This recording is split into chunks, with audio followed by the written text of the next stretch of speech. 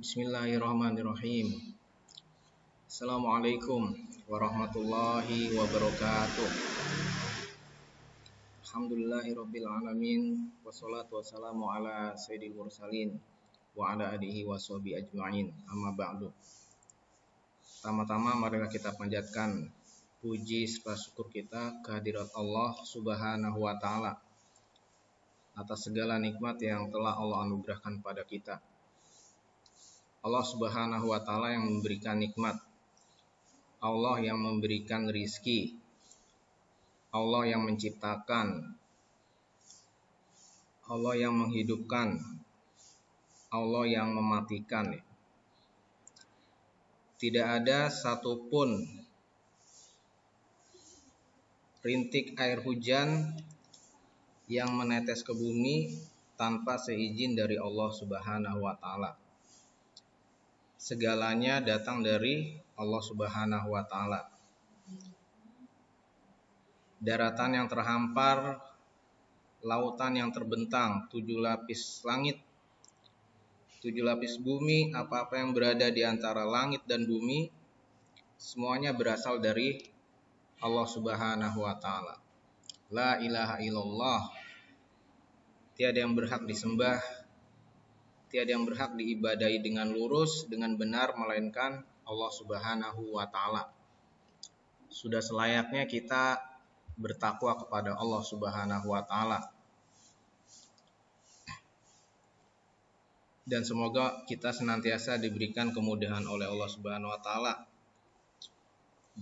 Dicurahkan rahmat, ampunan, dimudahkan atas segala urusan. Amin ya robbal alamin. Salat dan salam semoga tetap tercurah kepada junjungan Nabi Muhammad Sallallahu Alaihi Wasallam beserta keluarganya, para sahabatnya, dan para pengikutnya hingga akhir zaman. Dan semoga kita termasuk di dalamnya. Baiklah anak-anakku sekalian, mari kita lanjutkan materi kita berikutnya. Masih tentang himpunan nih. Berikutnya adalah komponen himpunan. Namun sebelumnya sedikit Ustadz ingin review apa yang kita pelajari di akhir pertemuan sebelumnya. Kita sudah belajar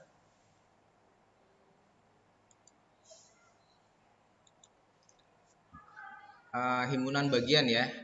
Uh, operasi himpunan. Misalkan. Misalkan ada himpunan A. Anggotanya adalah A B C.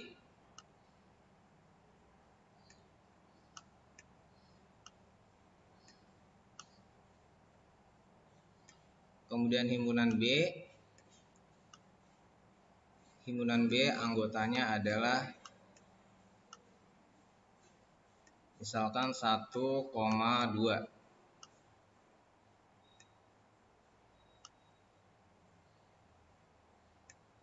kalau misalkan ditanya himpunan A dikali B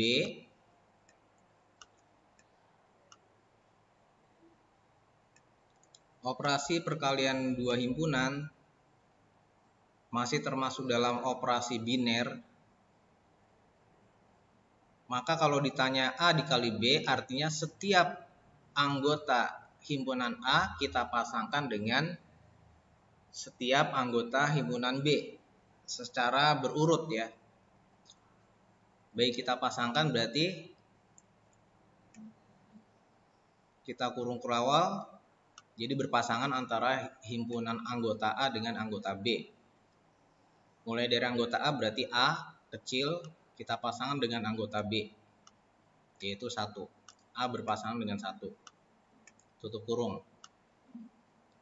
Berikutnya A setelah berpasangan dengan satu berpasangan dengan dua A, dua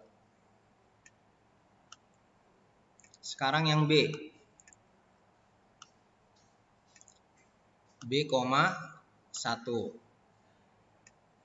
Setelah B, 1 berarti B, 2.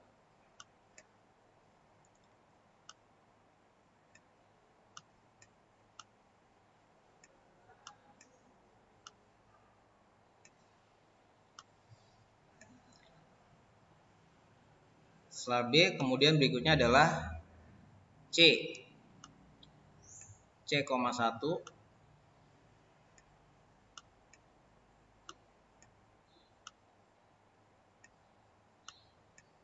kemudian C, 2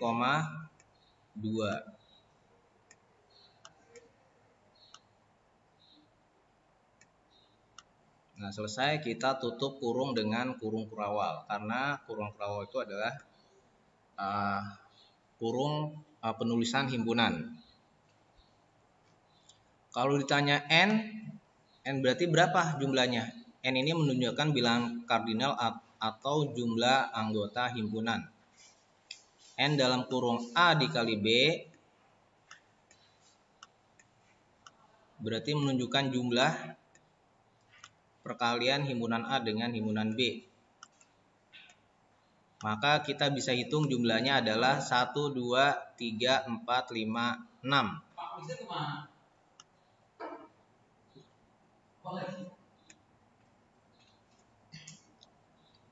Ya.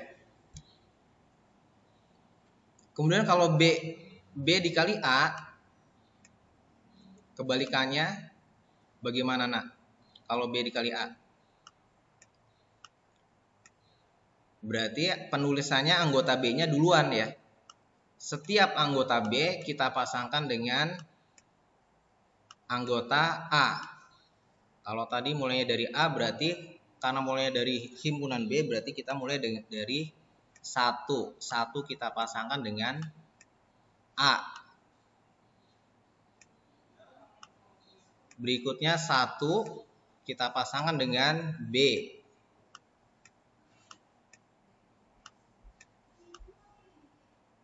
Berikutnya satu kita pasangkan dengan C.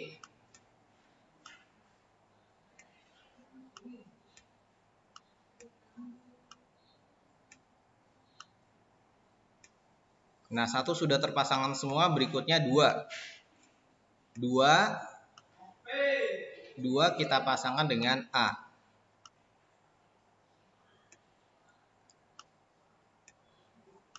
Kemudian dua kita pasangkan dengan B. 2, B.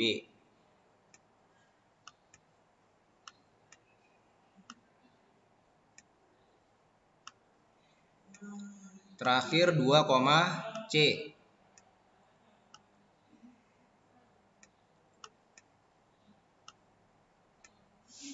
Kemudian tutup kurung kurawal. Kalau ditanya jumlahnya berarti N NB dikali A. Silakan dihitung berapa jumlahnya. 1, 2, 3, 4, 5, 6. Ini B dikali A. Ternyata jumlahnya sama, sama-sama 6. Berarti kita bisa simpulkan himpunan A dikali B. Himpunan A dikali B. Sama nggak A dikali B dengan B dikali A? Ya tidak tidak sama. Ya berarti kita kasih lambang tidak sama dicoret.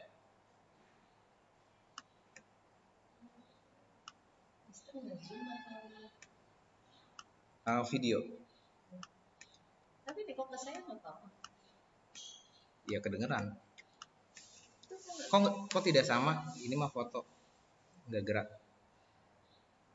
Tidak sama karena penulisannya berbeda ya.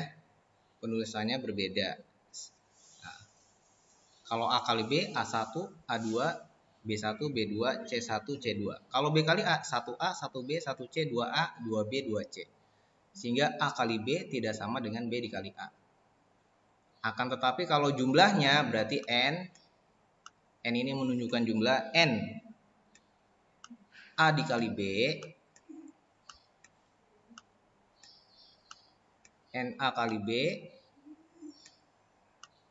sama dengan sama dengan N B kali A. Aktif presenter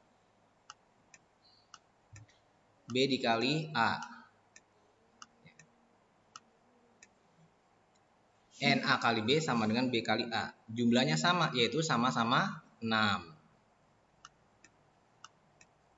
sama-sama 6 Kemudian kesimpulan berikutnya ternyata jumlahnya kita bisa kalikan langsung ya. N A dikali B N A dikali B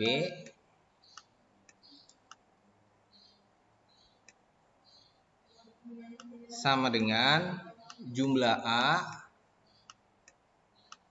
jumlah him, anggota himpunan A dikali dengan jumlah anggota himpunan B.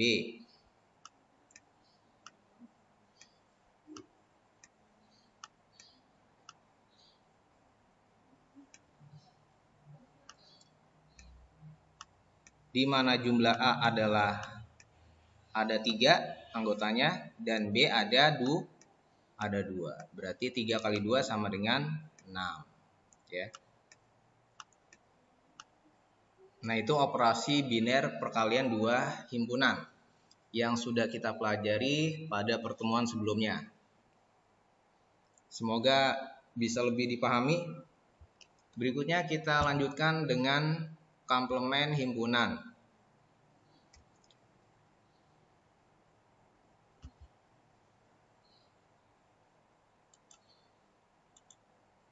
Nah, ini gambar komplement himpunan. Komplement himpunan itu artinya misalkan ini ada diagram Venn. Kemudian di dalam diagram Venn ada himpunan A. Lihat himpunan A itu warnanya putih. Di luar himpunan A adalah yang diarsir. Ini menggambarkan himpunan komplement dari himpunan A. Nah, komplement dituliskan notasinya komplement A berarti A pangkat C. Artinya selain anggota A. Atau dalam buku lain ditulis bisa juga ditulis uh, bisa juga ditulis A aksen ya. Ada penulisannya A aksen atau penulisannya juga bisa komplement itu A dipangkatkan C artinya selain anggota A. Nah ini himpunannya ada satu ya. Operasi himpunan namun himpunannya cuma satu ya. Operasi himpunan dalam bentuk hanya dalam bentuk uh, komplement himpunan atau kalau dua himpunan berarti biner kalau satu himpunan itu disebutnya dengan operasi uner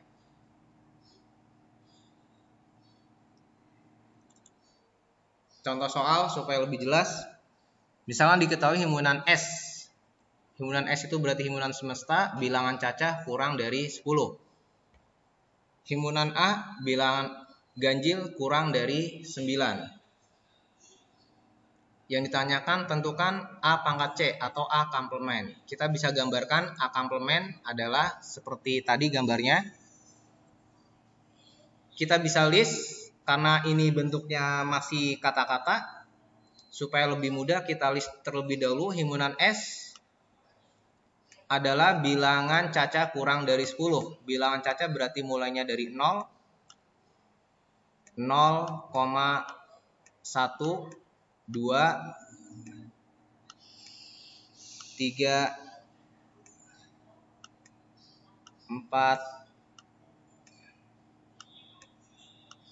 5 berarti sampai 9 ya? 6 7 8 9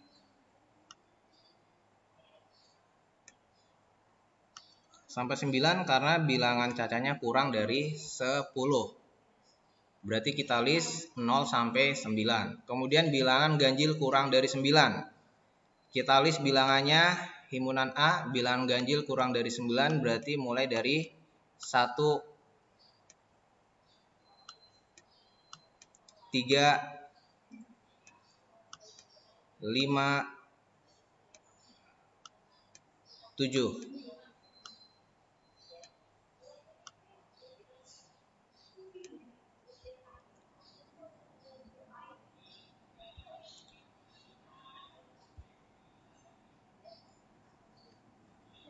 kita masukkan. Berarti yang ada di dalam lingkaran A adalah 1 3 5 7 jangan lupa dikasih nokta.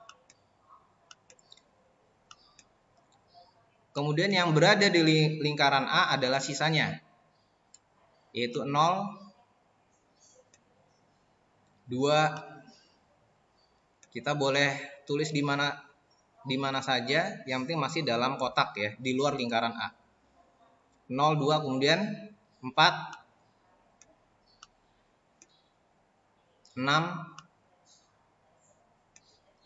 9 jangan lupa dikasih nokta atau titik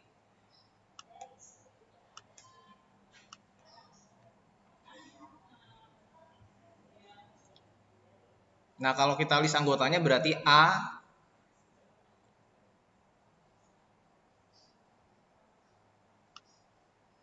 A pangkat C komplement.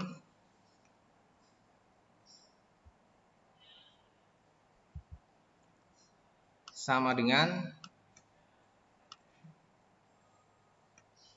karena A komplement berarti selain dari anggota A berarti yang kita tulis adalah 0 dua. Empat. Enam. Delapan.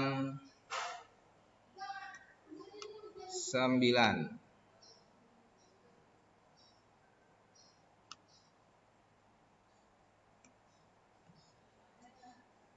Kosong dua empat enam delapan sembilan Nah ini contoh soal dari komplement himpunan.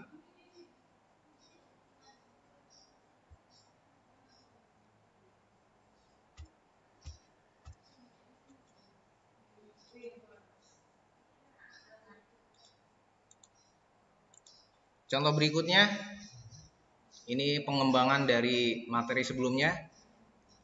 Diketahui himpunan S bilangan caca kurang dari 10 B bilang asli kurang dari 7, C bilang ganjil lebih dari 1, kurang dari 9. Tentukan B komplement, B irisan C, B gabungan C, B irisan C, pangkat C, banyak himpunan bagian dari B, banyak himpunan bagian dari B yang memiliki 4 anggota. Untuk menjawab soal ini, supaya lebih mudahnya, kita gambarkan dulu diagram Venn-nya.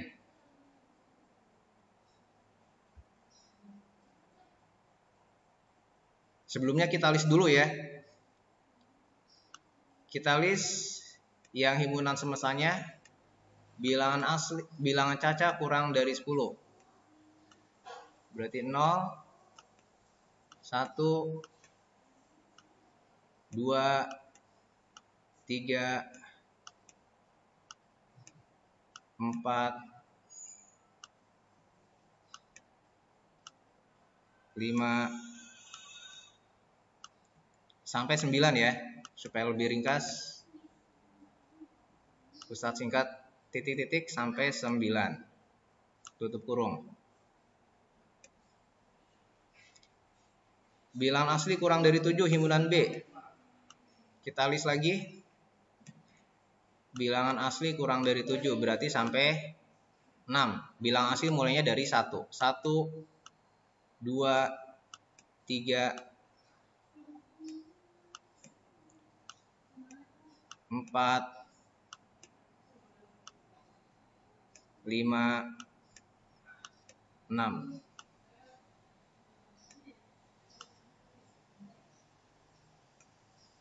tutup kurung kurawal ya.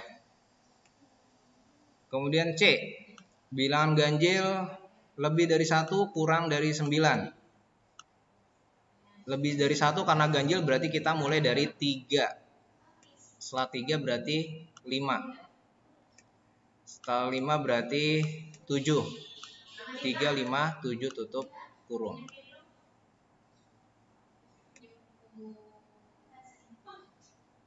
Kalau kita gambarkan diagram Venn-nya, berarti ini kotak.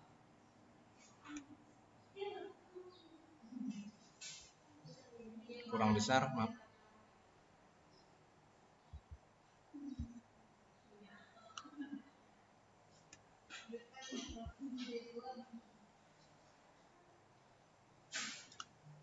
Berarti ada dua himpunan yang saling beririsan yaitu himpunan B dan himpunan C.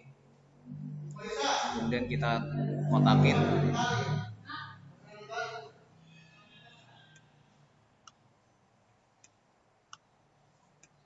Ini himpunan A, ini himpunan B.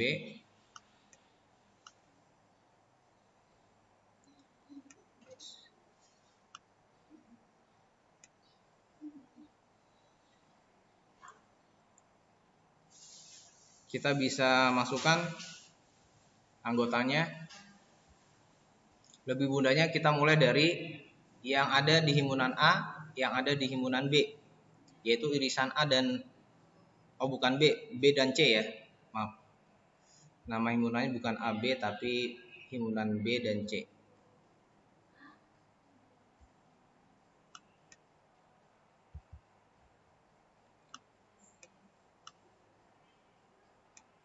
yang ada di himpunan B dan C yaitu 3 5 3 dan 5. Berarti 3 dan 5 kita taruh perpotongan antara B dan C. Kita taruh di sini.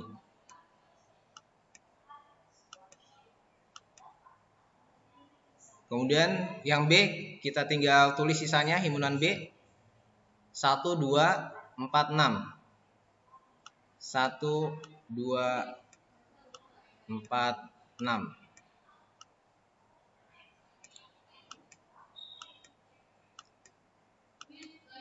Kemudian yang C kita tulis sisanya 7.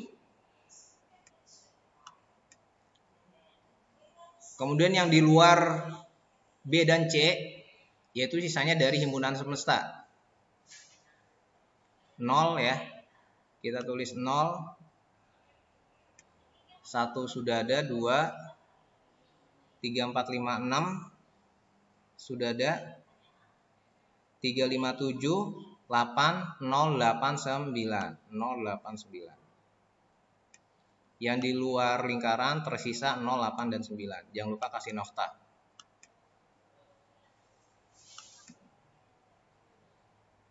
Nah, dengan melihat ini kita bisa dengan mudah menjawab pertanyaan B pangkat C.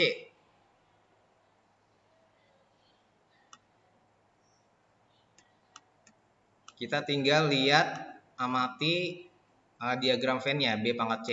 Berarti selain himpunan B. Berarti yang kita tulis B-nya tidak kita tulis. Yang kita tulis adalah di luar lingkaran B, yaitu 0,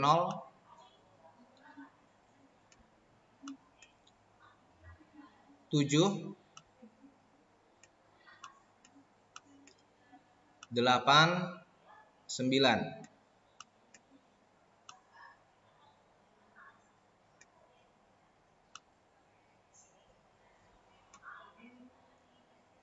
Kemudian pertanyaan B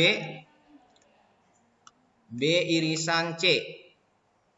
B irisan C berarti yang ada di dalam Eh, yang ada di dalam lingkaran B dan juga ada di lingkaran C. Kita bisa lihat diagram Venn-nya. Berarti kita tulis 3, 5.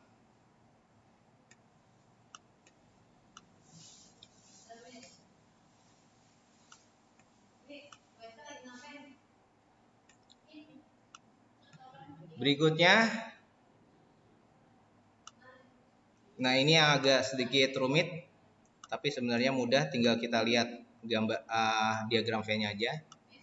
B irisan C kemudian dikurung dipangkatkan C. Artinya selain dari B irisan C. Berarti yang kita tulis adalah selain B irisan C. 3,5-nya tidak kita tulis lagi. Yang kita tulis adalah selain 3 dan 5. Berarti kita bisa tulis 0, 3 dan 5-nya tidak kita tulis lagi. 0, 1, 2, 4, 6 8 dan terakhir 9 tutup kurung. Pertanyaan keempat oh kelewat ya harusnya ini D. C nya kelewat. C itu berarti B uh, gabungan ya kebalikan dari istri yang gabungan. Berarti kita tulis semua yang berada di lingkaran B dan C.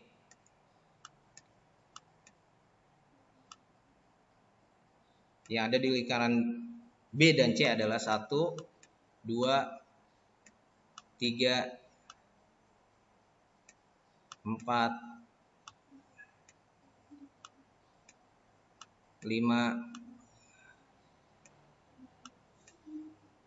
6, 7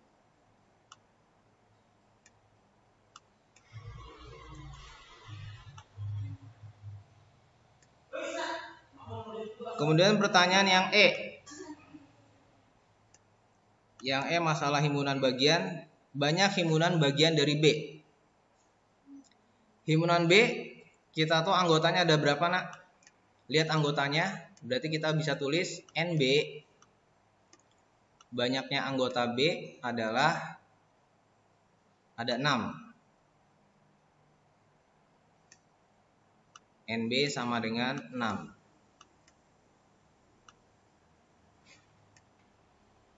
Nah, bagaimana rumusnya?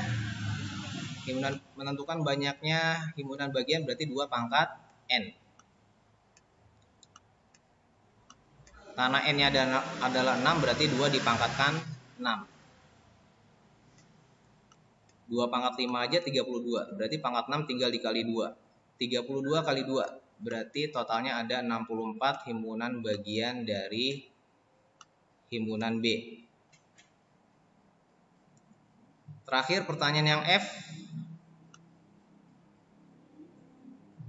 banyak himpunan bagian dari B yang memiliki empat anggota. Kita ketahui bahwa banyaknya anggota B ada enam. Berarti kita bisa susun segitiga, Pascal sampai 6 anggota ya. Masih ingat segitiga Pascal susunannya satu, ini yang nol anggota yang paling puncak, kemudian satu-satu, 1, 2, 1. Ini dua anggota. Berikutnya yang tiga anggota berarti 1, 3, 3, 1. Kemudian empat anggota itu 1, 4, 641 5 anggota satu 5 10 10 5 satu ya. karena kita pakainya nama anggota berarti formulanya adalah 1 6 15 10 sama 10 jadi 20 kemudian 15 lagi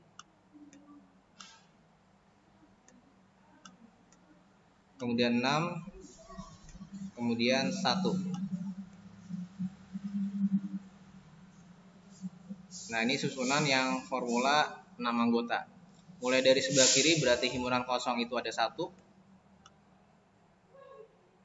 satu anggota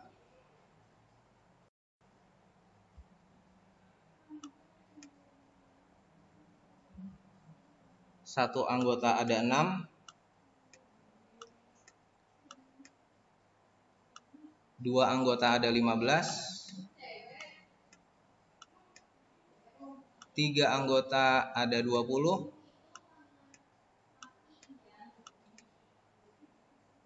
Empat anggota ada lima belas. Lima anggota ada enam.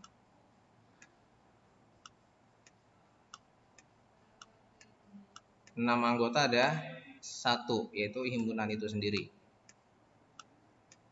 Yang ditanya adalah empat anggota. Berarti jawabannya empat anggota ada 15. Ada 15 himpunan bagian dari B yang memiliki empat anggota. Demikian pelajaran kita hari ini, semoga mudah dipahami dan bermanfaat. Kalau ada pertanyaan silakan bisa japri ya. Kita akhiri dengan hamdalah dan doa kifaratul majlis. Subhanakallahumma wa bihamdihi wa bihamdika. Sadu la ilaha illa anta astaghfiruka wa atubu ilaik.